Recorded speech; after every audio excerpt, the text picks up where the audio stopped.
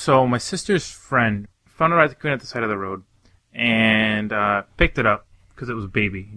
You know what? What? What mom raccoon would leave their baby? And so she she brought it with her. She she she brought it to the vet. They vaccinated her.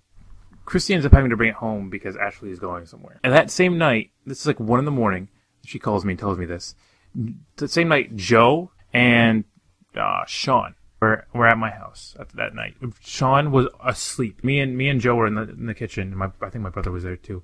And my sister's like, "Hey, I'm bringing a raccoon home," and I was like, "Okay, uh, fine, I guess." So we get it. We we we make this amazing plan to wake Sean up with the um, the raccoon. We just stick the fucking thing in Sean's like we we have the little cage. We just put it in Sean's face, and he's like, and you see, with the lights are on, and he sees it. He sees that it's a raccoon. He's like, what the fuck?